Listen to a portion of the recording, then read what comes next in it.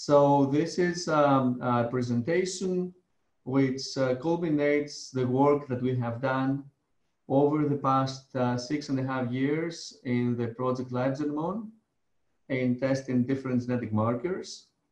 I think we were very, very privileged to have this uh, opportunity to work on a project for six and a half years. So I had enough time to ponder on our forests, visit them again and again, uh, look in our data, in our results, and this has been a very nice experience. So um, we all know that uh, climatic change is uh, progressing fast and that forest trees are among the organisms which have very limited ability to adjust. In fact, when uh, climatic change or some extreme event due to climatic change uh, falls um, upon the forest, the trees cannot really uh, walk away. I've been walking in the forests for several years, and I think I have never seen trees uh, to walk away from stress. Perhaps uh, I saw once um, this tree that you see on the picture, but maybe I'm mistaken. Uh, so overall, the only armor that trees have to survive this uh, stress, uh, this developing stresses, is by the genetic diversity. And in fact, the central dogma of conservation genetics uh, says that genetic variability is beneficial and therefore uh, worth to preserving at the greatest extent. And what stems out of that is that the conservation of biodiversity depends really upon the conservation of genetic diversity and increasing genetic variance does increase the chances of population survival. Okay, so in the conservation of forest genetic resources, what we're looking for is to maintain genetic diversity and designate protected areas in order to do so. But unfortunately, natural forests are not like a vault. We can not lock all the alleles, all the wealth of genetic diversity in there and make sure it stays forever. And in fact, a very simple truth that the keynote speaker at the World IUFRO Congress uh, uh, mentioned is that uh, by designating a forest as a protected area or as a gene conservation unit does not really protect this area from the effects of climate change. And under all these uncertainties, the big question is, will adaptive evolution manage to operate under uh, strong environmental change and allow populations to persist. So under these uncertainties, one way to move forward is monitoring. And in fact, the aim of genetic monitoring is to assess the current status of genetic diversity and quantify changes across time with the aim of protecting long-term adaptive potential. So it's a study instrument with a prognostic value.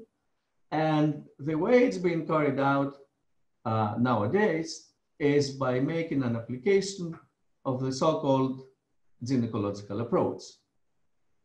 What does that approach say? Well, the major forces of evolution at microscale are natural selection and genetic drift that leads to different types of differentiation mediated by gene flow that leads to homogenization.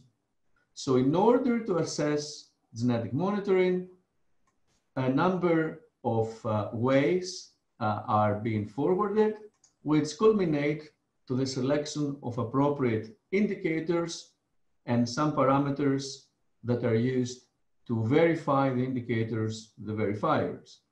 So in the project LifeGenMon, we have opted for three indicators that more or less correspond to the forces of evolution at microscale. And you can see in the table the indicators along with respective verifiers. And you can easily notice that out of the total number of parameters that are used to verify the indicators, most of them, two thirds of them, are based on genetic markers. And this, in fact, poses one question. And the question is, what sort of genetic markers should we use? Should we rely on the de facto choice of the past years, which has been the microsatellites, the nuclear SSR markers, or should we move into SNPs? I will spend the rest of my presentation trying to provide some insight into this question, which is not that simple as it may look.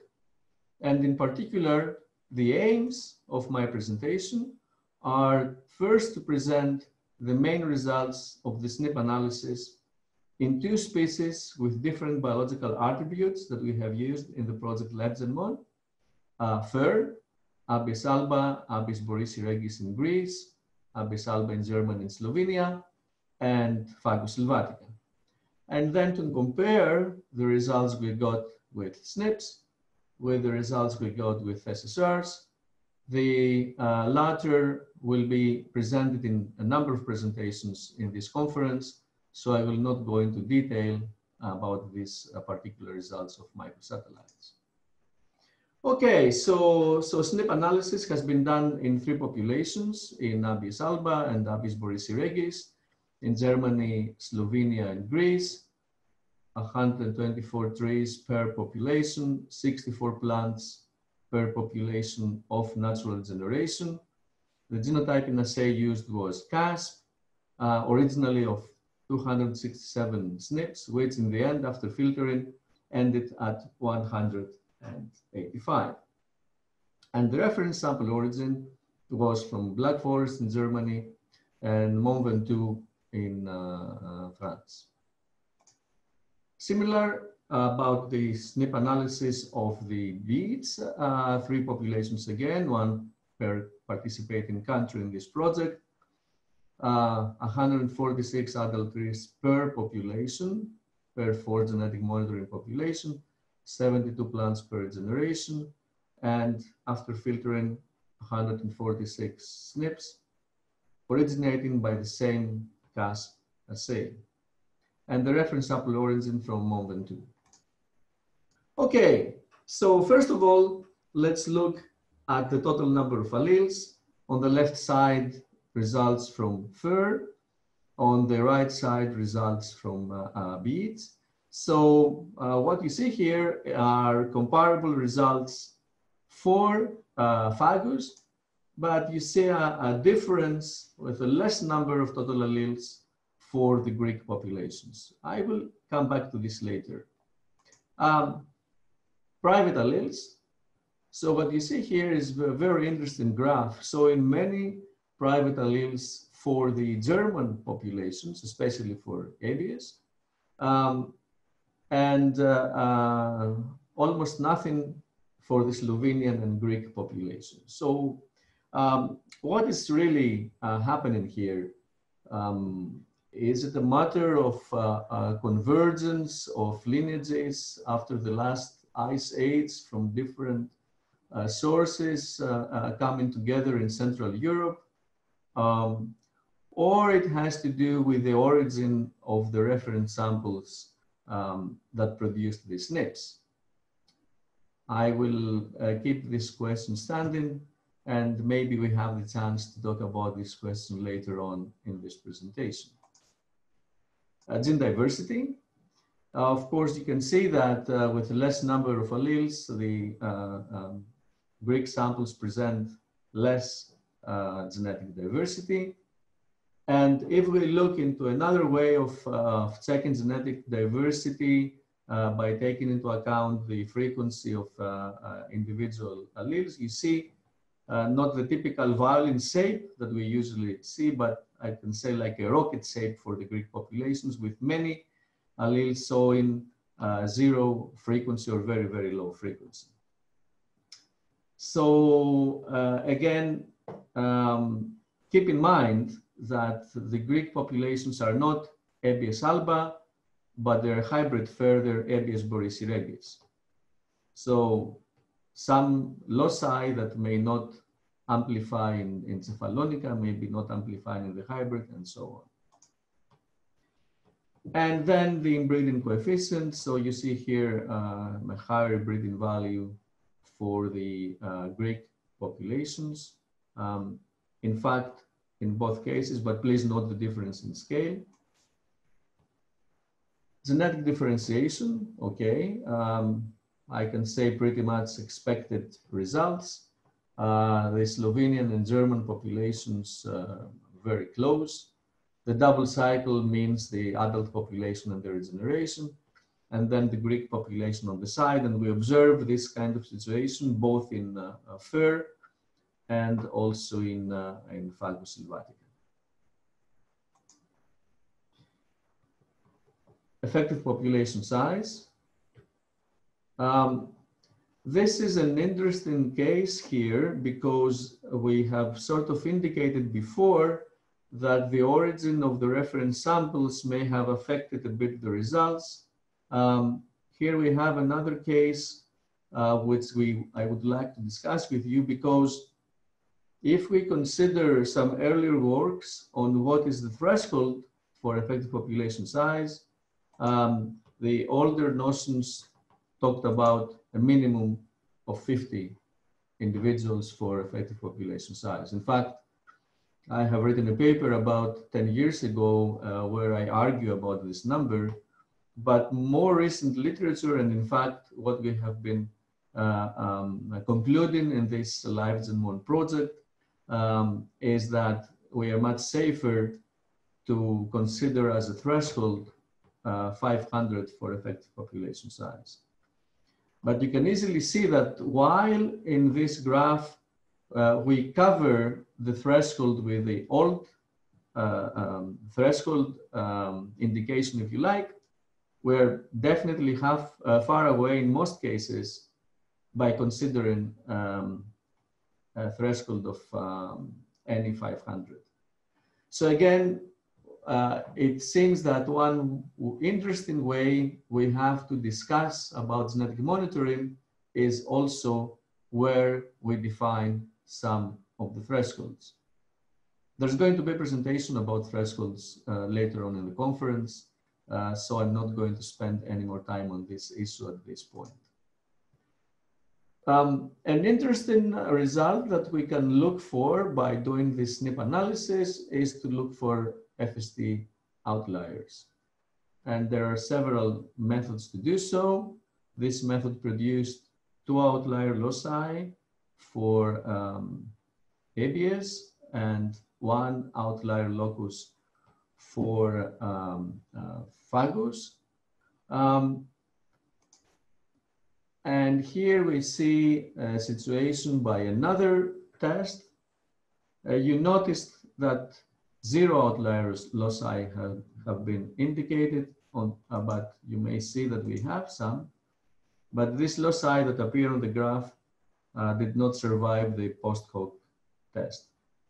So, um, so in this case, the false discovery rate um, uh, gives us this indication.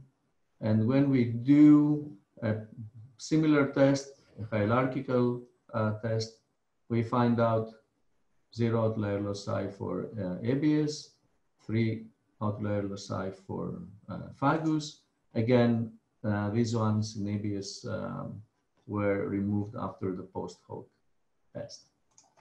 Okay, um, this is another interesting uh, um, approach since uh, this approach does not imply structure. Uh, and in this case, uh, we have detected several outlier loci, uh, 16 in one case and 19 in the other case. Um, and no outlier loci by uh, the last method that we have used, um, the OutFLANK method. Okay, so what does this thing tell us? No common outlier loci for fir and one common outlier locus for beads. So what are these loci since, as you have probably remember from the title, these are uh, gene-based SNPs? Well, we can see here the annotation uh, for these uh, uh outlier loci. And in fact, I would like to point out this uh, ferredoxin family protein that you see likely in the middle of the graph, where we have a non-synonymous uh, mutation appearing there. In the other case, this is the common um, outlier locus from all types of analysis, a protein phosphatase locus. So it seems that some sort of selection may be uh, happening there, um, but it's not that pronounced as far as these results are concerned. Okay, so um, I have tried so far to give you an idea of the basic results we got from SNPs. And now I will try to get into um, the next part of this presentation to compare uh, the SNPs with the SSRs. And first, uh, let me start with the uh, total number of alleles. So what we see is that um, uh, we have a similar number of uh, SSR uh, alleles total among the different uh, populations. And in fact, the Greek population has the highest number of alleles in, in neutral SSRs. But when we go to SNPs, you may recall uh, from the original uh, presentation of the graph before that we have less. In fact, we have a 47 SNP deficit in the Greek populations. So why is this happening? Uh, the fact that we uh, don't seem to have big differences in SSRs and EST SSRs, but we have a significant and notable difference in, uh, in SNPs, points more and more towards ascertainment bias. So it appears that um, uh, um, the way our reference, uh, uh, this reference samples uh, produced the, um, the way the KASP analysis went on probably has affected uh, the results. And in Borisi regis, we have less alleles than in the other uh, populations. Now, if we look into the private alleles, this is again something very, very interesting. You may notice that in SSRs, the German population has the least number of private alleles, but the same German population has the highest number of private alleles in SNPs. And I, I do stress again that the, uh, our reference samples uh, came from uh, from Black Forest. Gene diversity, okay. Um, similar levels of gene diversity, a bit less in the Greek populations, a bit higher in the German uh, populations for EST SSRs. But if we take another look on gene diversity, we see that the median uh, is in fact higher, for instance, in the Slovenian um, population. So, so these differences are not that um, pronounced. And if we go to the SNPs, you will notice again this rocket shape uh, for the Greek populations due to the small uh, value uh, of um, uh, uh, to having many SNPs with very small uh, value frequency or zero frequency. Okay, um, Hardy-Weinberg equilibrium. Here we clearly see that uh, um, Greek populations are not in uh, Hardy-Weinberg equilibrium in large number of loci uh, in SSRs, while the other um, species are. So uh, something that is not seen in the graph is that uh, Greek populations are in Hardy-Weinberg equilibrium regarding EST SSRs. So this also may have to do with a form of a certain bias, in this case operating in the SSRs, and having to do with the fact that the primers that we have used are Abies-ALBA developed primers. And we applied these primers to Abies Borisi regis. So uh, another situation of a potential ascertainment bias coming up here. And of course, um, the lower diversity and the lower number of alleles uh, are followed by um, much higher inbreeding detected in the Greek populations for SSRs. Something that we do not see neither in the EST SSRs nor in SNPs.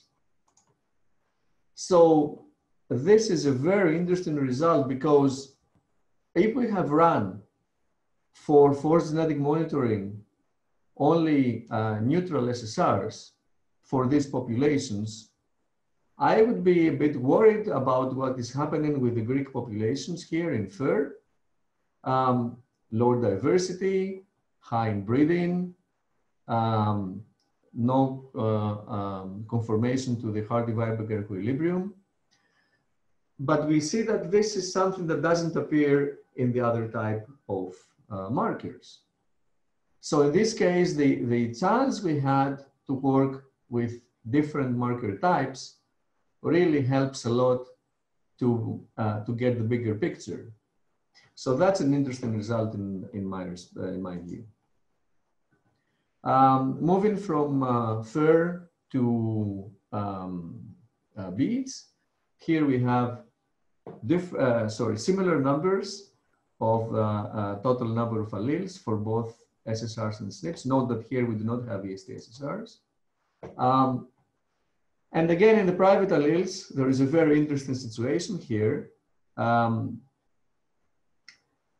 in contrast to what we have seen in, uh, before, uh, the uh, German population has the least uh, number of private alleles in SSRs, but the highest number of private alleles in SNPs.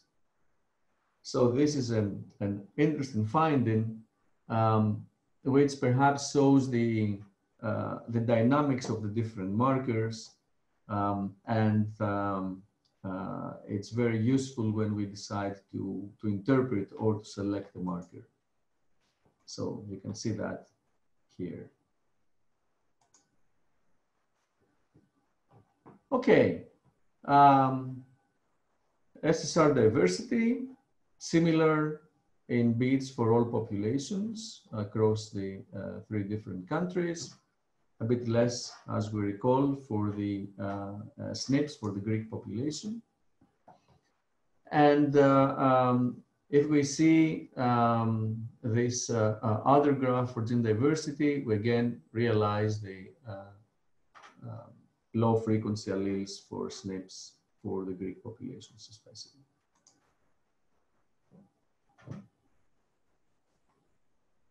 for SSRs, the Greek populations and large number of SSRs not in Hardy-Weinberg equilibrium, all the others are. And again, if we look in beads for inbreeding, we see this higher inbreeding value for Greek populations for uh, um, um, SSRs. But this has to do with a large number of null alleles that we observed in the Greek populations, for which uh, there might be a chance of some hybridization with uh, um, uh, Fagus orientalis in the past and then backcross to Fagus sylvatica. This is not very, very clear, but perhaps this um, difference that we see um, could have to do with that, or of course it could have to do with the absence of Hardy-Weinberg equilibrium that we have seen before. Okay, how do the two different markers um, compare when we estimate genetic distances? So these are Nei's genetic distances, and we see that they compare very well. Okay, so the Mantel test uh, is uh, uh, highly significant. Um, and something that is very interesting to see, in spite of the fact that is not directly related to forest genetic monitoring, is the fact that um, beads are further away twice um, the Greek populations from the Central European populations than are um, uh, Abies borisii regis compared to Abies alba. Uh, these and some other results show, of course, that uh, by doing forest genetic monitoring, we we have also incidental findings that have a, a, very interesting scientific importance. So by doing sort of a comprehensive study of populations for the purpose of genetic monitoring, we ran across some findings of more general uh, inter-scientific interest as well that could have some implication also for the future management of these populations. Um, how many loci um, can discriminate the different cohorts, the different populations um, in comparison of SNPs, sorry, in comparison of SNPs to, to SSRs. So we need about 100 SNPs to pass the discrimination power of 11 SSRs. Uh, 100 SNPs is not very hard to get these days, so uh, pretty easy to get um, uh, um, data set. And I will come to the point that I will try to sort of wrap up and conclude what I have presented so far. So what have we found and what are we looking for in applying a marker system for genetic monitoring? First of all, the main reason we ran these markers were to assess genetic variation.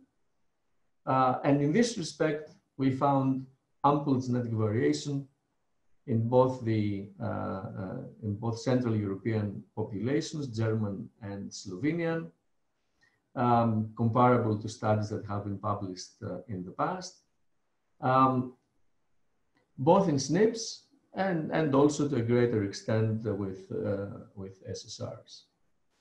Um, the Greek population showed less genetic diversity in SNPs, um, much less genetic diversity um, in compared to uh, uh, using SSRs, and not that much diversity uh, using EST SSRs. So why is this difference? Is it real or is it because of a bias? Uh, that's the question. With doing SNPs, we had the chance to evaluate also another indicator, indicator selection, which in forest genetic monitoring is done uh, mostly by looking into uh, phenological parameters. But the FST outliers give us this opportunity to try to uh, assess this indicator also by the SNPs. And we have some notions that some selection is operating um, in this respect, not very strong ones, but of course we had some indicate, indications as I described before. But I think that the main, uh, the main issue uh, that we found out and I would like to stress in this presentation is ascertainment uh, bias. So both markers um, showed that and resulted in fewer SNPs in the Greek populations and a high frequency of SSR null alleles in the Greek populations. And I think this is a concern. Uh, this is a concern when we study other species, uh, perhaps not for such a long time, not in such a comprehensive way. We have to make sure that uh, uh when we are looking into gene-based SNPs, at least, this should derive from re representative samples of all lineages. So, uh, of course, this can be done by some marker discovering techniques. Uh, but what is interesting is to make sure that uh, um, uh, our reference sample is not coming from a very particular area, or if it is so, um, we have to really consider how uh, wide its application would be into other populations. So uh, beyond that, SNPs have a clear discriminating power. So we need 10 times more SNPs to surpass the discriminating power of, of SSR, which is not that bad. And uh, um, with regards to our SNP data set, which was gene linked, of course, small, rather small, um, we have found out that the SNPs did not tell us really many more things than we knew from EST SSRs and to a large extent from SSRs. Uh, of course, we have sampled the genome in, in a much higher density, that's, that's for sure. Um, but then having all the different markers available really helped us um, to consider this ascertainment bias question. One clear addition that the SNPs have compared to uh, the use of SSRs is the opportunity uh, to test for selection as well, for the indicator selection, besides indicator genetic variation. But in this respect, uh, the, the methods that are available today um, are not really to the level that they can provide um, a single uh, uh, certain answer as far as to how by how far this selection is operating and, and into how many uh, loci. So this is a theoretical discussion. We will not get into that, but it is a limitation in this respect. What I think is really important is to consider that um, from this data set at least, what really matters in my view is that it's not really uh, the marker system that you use per se uh, that is important uh, when you compare to how the primers for its marker system were generated and when you consider to which populations these um, primers will be applied. I think this is an important issue that we have to keep in mind. And of course, um, we have now new approaches to detect SNPs, much more powerful, uh, that in theory, they would allow us to be able to overcome this kind of problems. Or maybe not, because every new uh, SNP detection technique that comes out uh, is supposed to be bulletproof unless, until when we sort of find that one way or another, there are some caveats that are associated with almost every approach. But again, uh, forest genetic monitoring must proceed with the best available marker or with the best available uh, combination of markers. So um, I would like to thank you all for listening to this presentation. I would like to acknowledge our big project, uh, Life for European Forest Genetic Monitoring System that supported this work. And I, I would like to thank all my colleagues for their enormous support and the friendship with, that we have developed all over these years. Um, Bruno Fady, Beppe Vendramin, and Andrea Pluess for facilitating the use of the, uh, of the KASP assay. And in the end, to thank you all for uh, uh your attention to this presentation. Thank you.